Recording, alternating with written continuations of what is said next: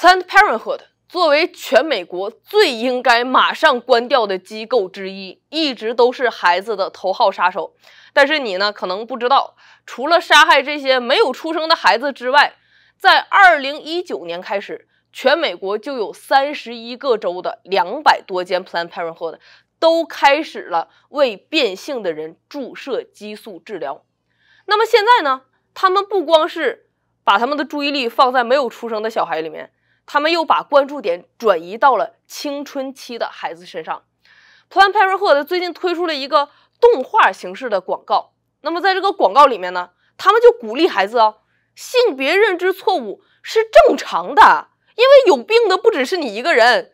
青春期阻滞剂可以帮助你阻挡你青春期的到来。你不想要第二性征发育吗？来，我们给你打针啊。所以这种呢，是在你想要变性的时候一种非常可行的选择。 There's no one size fits all puberty experience. If you're trans, intersex, or non binary, know that you're not the only one feeling confused. For some intersex people, puberty may start later than age 14. You might experience some of puberty's changes and not others, and your body may or may not go through puberty on its own. There are medicines you can take to help your body start the process, like hormone replacement therapy. Some people decide on hormones or surgeries to help their bodies match up to their gender identity, or how they feel inside about themselves.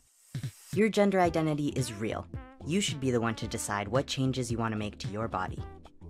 If you're transgender or non binary, you may find that your puberty hmm? experiences don't line up with your gender identity or how you see yourself. That feeling can be uncomfortable, scary, and stressful. If that sounds like you, know that you're not alone.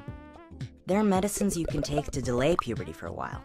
They're called puberty blockers, and they work like a stop sign by halting the hormones testosterone and estrogen that cause puberty changes like facial hair growth and periods.